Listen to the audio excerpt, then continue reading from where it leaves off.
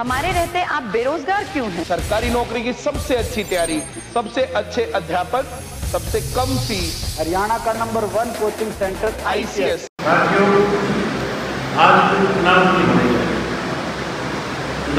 की है आज की जो मीटिंग बुलाई गई है इसका एक ही मकसद है कि पार्टी के सूत्र को मज़बूत किया जाए।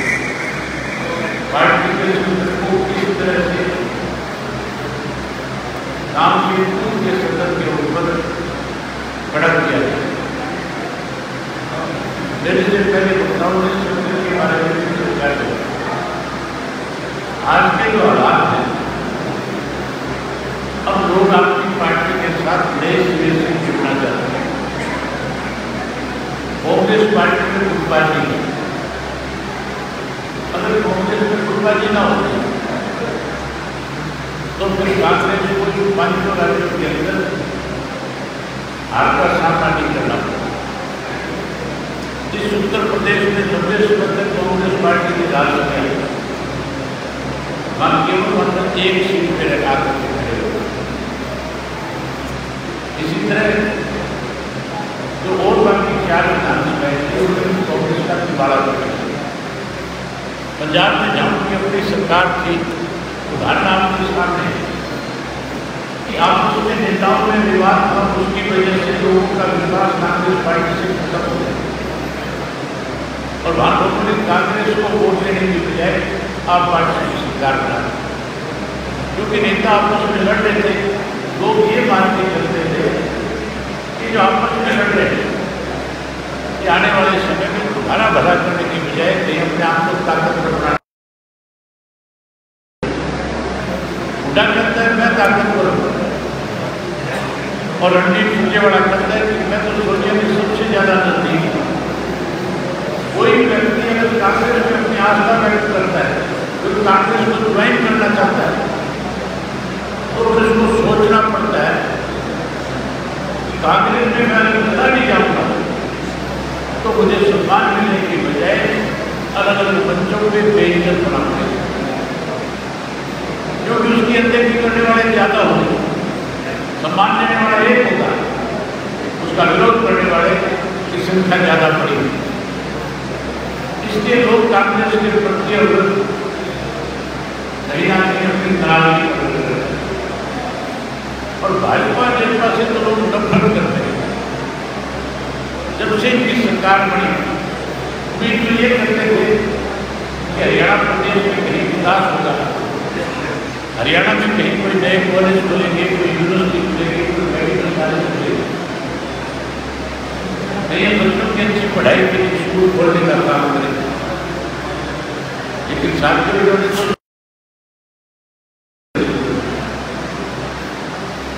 आज लोग इनसे परेशान हैं जब कोरोना की महामारी आई इनकी नई नई सरकार थी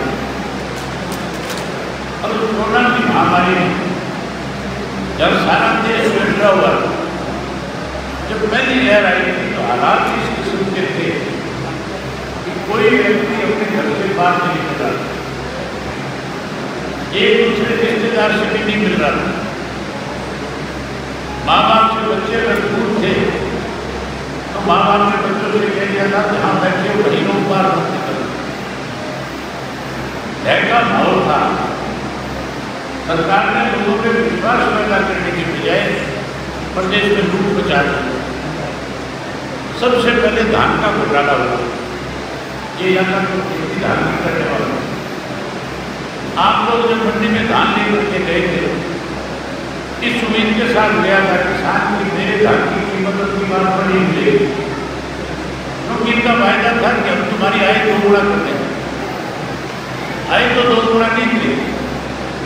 नमी के नाम के ऊपर किसान की धान की फ़सल में ढाई सौ से तीन सौ रुपये किसान को ऊपर कम दिए उसको लूट लिया। सरकार में बैठे लोगों ने मिलर के साथ मिलकर लूट बचा हमने मुख्यमंत्री से विधानसभा में पूछा था, ये जो तीन सौ रुपये तुम दे रहे ये किसके खाते में जा रहे कोई किसी एजेंसी के खाते में जा रहे आड़तीय के खाते में जा रहा है, या खरीद करने वाली एजेंसी के खाते में जा रहा है, या सरकार के खाते में आ रहा है। मुख्यमंत्री कहने लगा, इंक्वायरी कराऊँगा। लेकिन बीते आज कोई इंक्वायरी नहीं हज़ारों करोड़ रुपए जो है, सत्ता में बैठे दो के की का पहला घोटाला धान का, उसके बाद गेहूँ की फ़सल जब तुम लेकर के गए मंडी में तो आराम इस किस्म के थे कि कोई खरीदार नहीं उस कोरोना काल के अंदर कोई घर से बाहर नहीं निकल रहा था। केवल इंडियन नेशनल कांग्रेस पार्टी का कार्यकर्ता था जिसने किसान की मंडी में फ़सल की खरीदोड़ी के लिए आवाज़ उठाई उस कोरोना की महामारी में कोई घर से नहीं निकल रहा था लेकिन हमने फैसला किया था कि किसान की फ़सल बिके सरकार उसका एक दाना खरीदे इसके लिए साथियों मैंने बड़ी से मंडियों में जाना शुरू किया दवाई में गया हैदराबाद में गया सरसा में गया दिल्ली में गया फतेहबाद में गया आगे भुना में गया भुना के बाद उकलाना में भरवाड़ा में चीन में मैंने कम से कम चालीस मंडियों का दौरा किया तब सरकार को मजबूर होकर के किसान की की ज़रूर बढ़ेगी उसके बाद घोटाला शराब का हुआ घोटाला हुआ एक ऐसा घोटाला था सत्ता में बैठे लोगों ने हज़ारों करोड़ रुपया कमा लिया कोरोना के कारण जब कोई व्यक्ति घर से नहीं निकलता था गाँव गाँव में घर घर में शराब की सप्लाई थी सड़कों में साधन नहीं चलते थे गाँव में बीड़ी सिगरेट हुक्के की दुकान खुली परचून की दुकान नहीं खोल थी पूरा लॉकडाउन था लेकिन शराब की कोई कमी थी उठाने के बाद इस सरकार में बैठे लोगों ने रजिस्ट्री में घोटाला शुरू किया कोई घर से निकलता नहीं था ये रजिस्ट्री उसके बाद कोरोना काल के दौरान जब दवाइयाँ खरीदी गई साढ़े चार सौ करोड़ रुपए उस दवाई से घोटाला करने का काम लोकतरी के नाम पर सरकार ने दोनों हाथों से लूटा किस तरह से खबरें आपने पढ़ी सोशल मीडिया पे देखा कि करोड़ों करोड़ रुपए के बैग पब्लिक सर्विस कमीशन के दफ्तर में मिले तबादले जो करते हैं, इनमें पैसे दिए जाते हैं। कोई काम बिना पैसे के आज इस सरकार में बैठे जो लोग हैं, बिना पैसा लिए, बिना किसी का कोई छोटी मोटी सुनवाई में नहीं। तहसीलदार में चले जाओ, डीसी में चले जाओ एस पी में चले जाओ, सब जगह पैसा दिला ब्लॉक में चले जाओ वहाँ भी पैसा दिला वो पैसा देना भ्रष्टाचार सर्व सीमा पे पहुँच गया दोनों हाथों से प्रदेश को सत्ता में बैठे लूटने लगे। इस सरकार की तो लुटेरों का गिरोह है। इससे लोग परेशान दुखी है। इसलिए आज हर व्यक्ति इंडियन नेशनल कांग्रेस पार्टी के साथ जुड़ना चाहता अगर कार्यकर्ता समय निकाल करके गाँव में लोगों से मिले तो हर हालत में आपकी पार्टी के साथ बड़ी संख्या में जुड़ेंगे आज की आपकी जो मीटिंग है इस मीटिंग से इस बात का एहसास है कि अब हर व्यक्ति की इच्छा इंडियन नेशनल कांग्रेस पार्टी के साथ जुड़ने की है हमने तो कार्यकर्ताओं की मीटिंग बुलाई आपने तो इसको मीटिंग को जल्द से जल्द तब्दील करने का काम किया तो है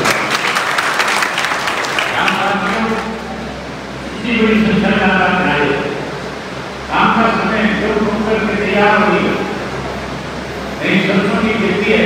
वहाँ खेती में व्यस्त है। उसके बावजूद हर महीने बड़ी संख्या में लोगों की हाजिरी हुई है। बड़ी संख्या में लोग आए मैं आपसे एक ही निवेदन करूँगा। इतनी सुरक्षा के साथ आज क्या है? हमने अपनी पार्टी को राष्ट्रीय सदस्य से जुड़ना हमने अपनी पार्टी का प्रदेश के सदन में संगठन रखा। हमने ज़िले में संगठन खड़ा कर हल्के का संगठन बना दिया। जोड़ के इंचार्ज भी लगा दिए। अगर किसी पार्टी का राष्ट्रीय अध्यक्ष हो सकता है, अगर प्रदेश का अध्यक्ष बनाया जा सकता है, अगर उस पार्टी के अलग अलग थोड़ा सेल बनाए जा सकते हैं, अगर हल्के के संदर्भ में संगठन खड़ा किया जा सकता है जोड़ के संदर्भ में जिम्मेवारी दी जा सकती है तो फिर संगठन का विस्तार करने के लिए पार्टी को मज़बूत करने के लिए। आने वाले समय में चौधरी जयलाल की नीतियों की सरकार बनाने के लिए हम सबको पार्टी के लिए समय निकाल करके गाँव के सदन के ऊपर भी, जैसे गाँव में सरपंच और पंच चुने जाते हैं, उसी तरह पार्टी का एक अध्यक्ष और उसके साथ हर वार्ड के अंदर एक मेंबर बनाने का काम हमें करना हो सोलह हमारे सेल हैं। अलग अलग महिलाओं का सेल है, युवा का सेल है स्पोर्ट्स का सेल है बीसी का सेल है एससी का सेल है भूतपूर्व सैनिक का सेल है, बुद्धिजीवी का सेल है। ये जो बच्चे स्कूल में पढ़ने जाते हैं, कॉलेज में पढ़ने का सेल है। इन सब के सेल का भी एक एक गाँव के अंदर एक एक व्यक्ति को ज़िम्मेदारी देंगे, ताकि हमारी पार्टी का हर गाँव में बीस से लेकर तक का पार्टी का कैडर बढ़े और उसमें वो लोग पार्टी के साथ उस कैडर में जोड़े जाए, जो सामाजिक है, जिनकी गाँव में पहचान है, जिनके इलाके में पहचान है, लोग जिनके विश्वास पर भरोसा करते हैं।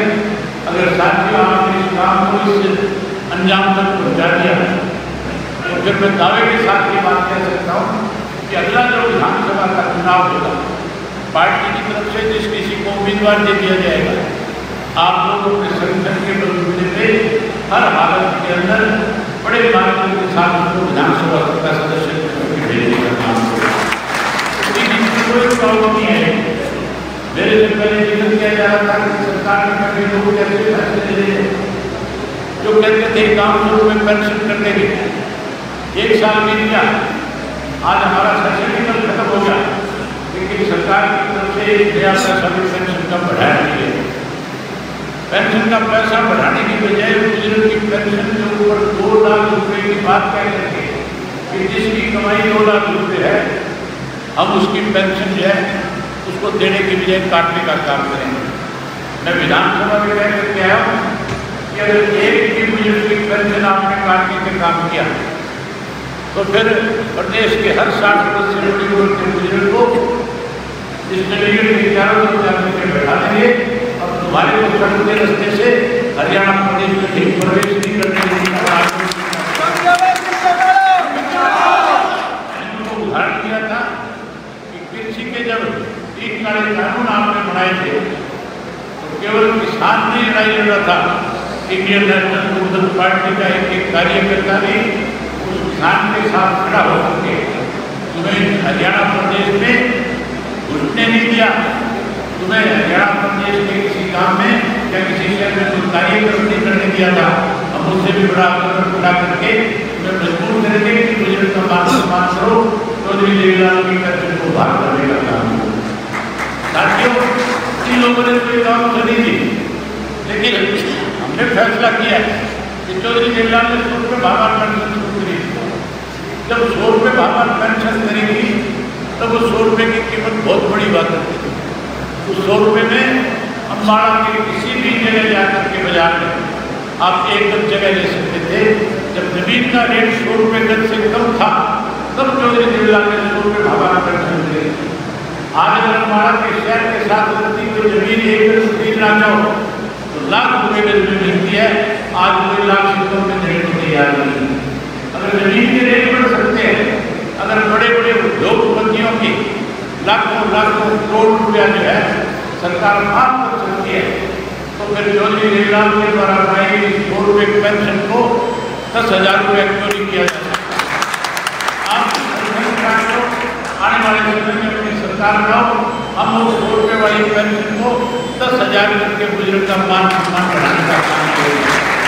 जहाँ पेंशन बढ़ाएँगे वहीं पढ़ा लिखा नौजवान जो है, जिसमें जज्बा है काम करने का। जो कहीं पढ़ लिख करके प्रदेश की सेवा करना चाहता है, जो कहीं अपनी पढ़ाई का, अपनी योग्यता के बलबूते पे हरियाणा प्रदेश का नाम रोशन करना चाहता है, आज वो निराश है, आज वो परेशान है, दुखी है। आज हरियाणा प्रदेश बेरोजगारी में सबसे पिछड़ा हुआ प्रदेश है। कैसे हरियाणा प्रदेश के युवा को फिर से वो सम्मान मिले?